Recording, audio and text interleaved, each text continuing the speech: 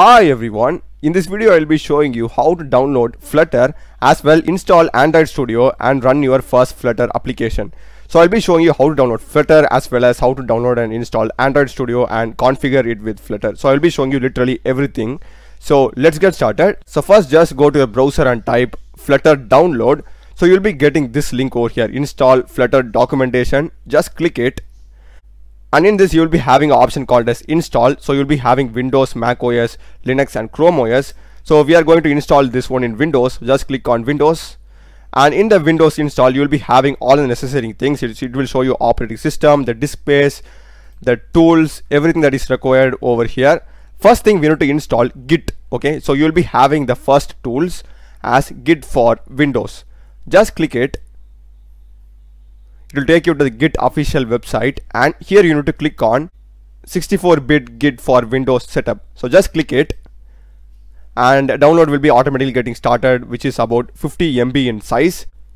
So just click it and click on open.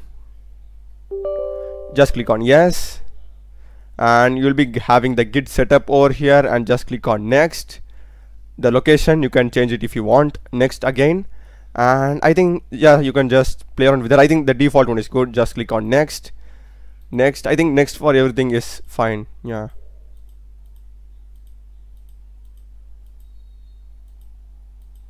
Yeah so the installation will start. And just uncheck it and just click on finish. So if I just go to search and type git you'll be having the git bash app over here and I think you need to also add the git path in the environment variables. So just go and search environment. You'll be having this option called as edit the system environment variables. Just click on open. Click on environment variables. And in this you will be having the system variables over here. You'll be having this path. Just click it and click on edit. And here you can see right this particular path gets automatically added. I would also recommend you to add another path which is C program files git and bin so for that you need to go to like this PC C program files. You'll be having the git and go to bin. Copy this over here. So this is the path. Copy it and just click on new and paste it and just click on OK so basically you will need to have both these paths okay? This path was automatically added and I just added this additional path. So this is fine now so just click on ok everywhere. So if you want to check whether we have successfully installed git just go to command prompt and let me just zoom in a bit.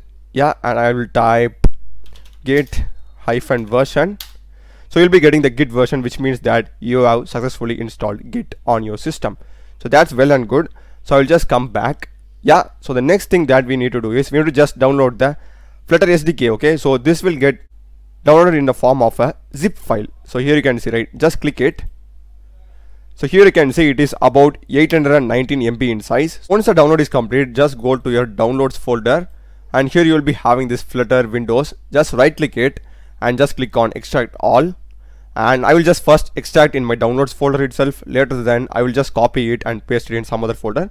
So just click on extract at first so once the extraction is complete you will be having the flutters folder over here which will be present inside downloads this flutter windows and inside that we'll be having the flutter folder.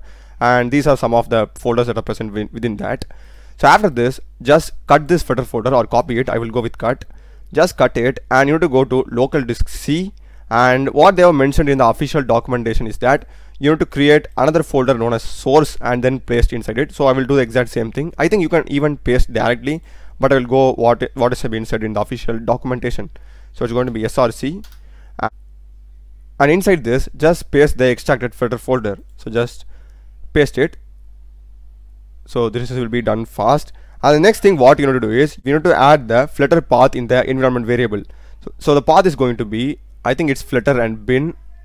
So let me just scroll down. Yeah here you can see it's full path to flutter bin. So we need to go to flutter. And inside that we will be having this bin folder just click it and click over here. So it's going to be local disk C source flutter and bin. Let me just now copy it. And again the same procedure. Just go to search and type environment. You'll be having the edit the system environment variables. Open it. Click on environment variables. Go to path. In system variables click on edit. Click on new. Paste it. And just click on ok everywhere. Yeah again we will go to command prompt and check so this is my command prompt. I will zoom in a bit. So this time we will be running the command flutter doctor. Or we can just run flutter at first but let me go with flutter doctor so we will be getting welcome to Flutter which means that we have done all the necessary things. We have added the right path and we have installed it. So here you can see we have got the Flutter stable 3.3.10 and here you can see Android toolchain developed for Android devices unable to locate Android SDK so we are getting this particular error because we haven't installed Android Studio. So that is going to be the next step. So just go to the same website and just scroll down. So yeah the same thing for the doctor. We have done this and next thing is going to be android setup. So install android studio. So you'll be having this download and install android studio. You can just click here. It will directly take you the official website where you can download android studio. So if you don't know like how to find this simple just go to go to search and type android studio. You'll be getting the download android studio and tools. Click it. And you'll be getting the exact same thing over here as well. So let me just click on download android studio so it will ask you like the terms and conditions. Just click on agree and download. So this will also take some time. It is about 900 MB in size. So once the download is complete just click on open.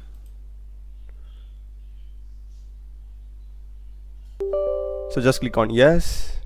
And you'll be getting the Android studio setup. Just click on next and yeah just check this as well android studio and android virtual device. This is also really really important. So just check it and click on next. This is going to be the default location. I am fine with this. And i will click next. Android studio yeah. And i will click install. So it's going to be a pretty much straightforward installation. And click next now and just click on start Android Studio and click on finish. So you will be getting the import Android Studio settings. Just click on do not import settings and click on OK. So it's Android Studio Dolphin. I think this is currently the latest version and just click on next. Okay, don't send. That's fine. I will click next. Type of setup you want for Android Studio. Just click on standard and leave next so this is like the light and the dark mode. I will go with just the dark mode itself and I will click next. So these are going to be some of the components that are going to be installed. We have Android emulator. I think that is the most important thing out of all. So this is fine. I will just click on next. And this is some of the license agreement that we need to do. So just click here and click on accept. After that you need to click on this Intel Android and as well click on accept and click on finish so now I will it will take a long time to download all the necessary components. So just be patient. So once all the necessary components are downloaded just click on finish. And you'll be getting this welcome to Android Studio over here. So let me just minimize all. So you'll be getting this welcome to Android Studio. So first thing what you need to do is you need to install the Flutter plugin. So just go to plugins and you need to go to marketplace. So nothing has been installed now. Just go to marketplace and you need to search for Flutter so you'll be getting this flutter and just click on install. So third-party plugin yeah just click on accept and just click on install as well. So it's from flutter.dev so just click on restart IDE restart.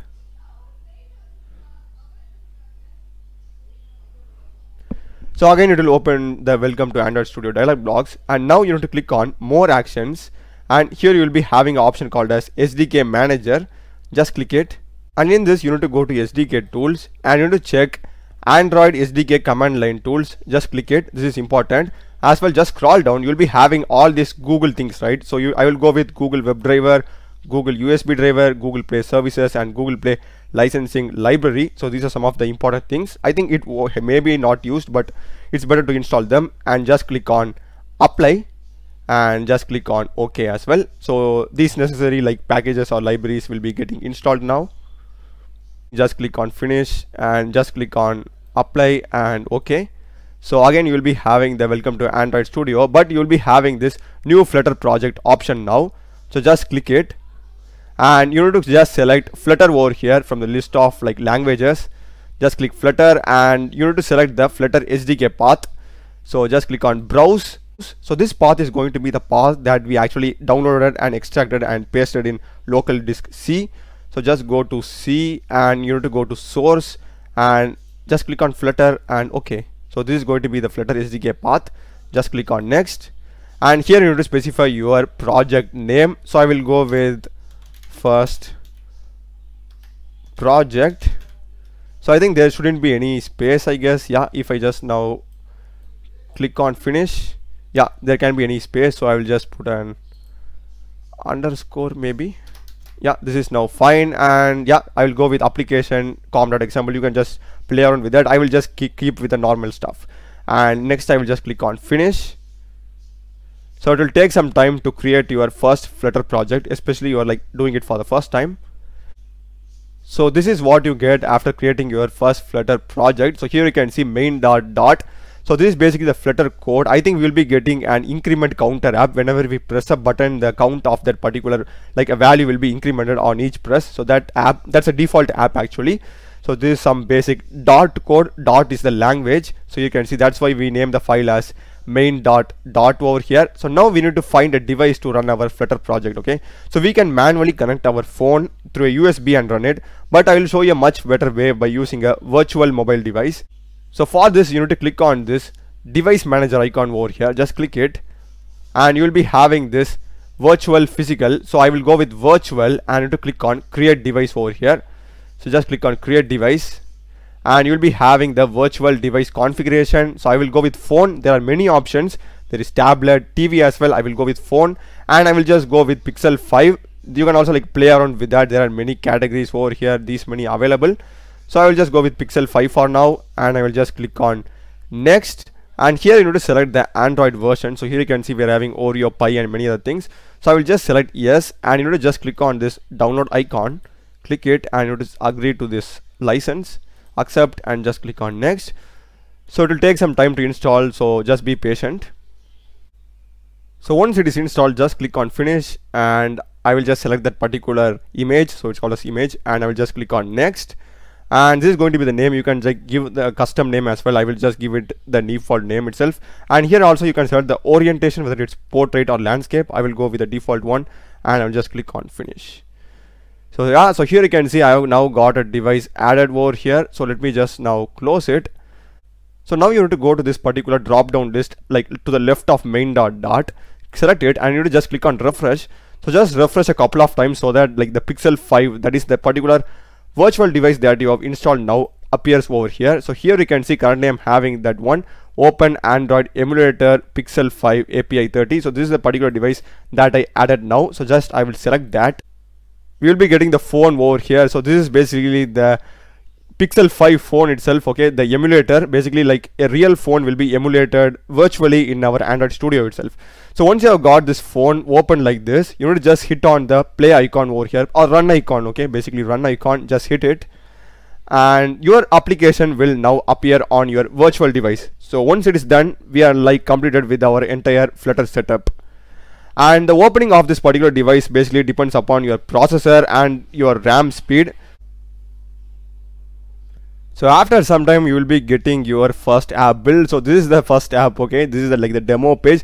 So it really took a long time to load. So since that is the first time we are doing it so I think you can see this is flutter demo page. Let me just now like expand it. So here you can see right this is the default app that we will get every time when we create a new flutter project. So this is that I told you right? So if I just press this button this counter will be automatically getting incremented. So I'll just like yeah if I just click on this button so here you can see right the count is automatically getting incremented for each click so if you get this without any error so here you can see I'm not having any problems over here so which means that Flutter has been successfully configured in your system as well as in Android Studio and you could do much more Flutter apps and projects so I hope you would have found this video useful. I've also run many other tutorials in C, C++, Java, Python, Node.js, React.js, MongoDB, MySQL.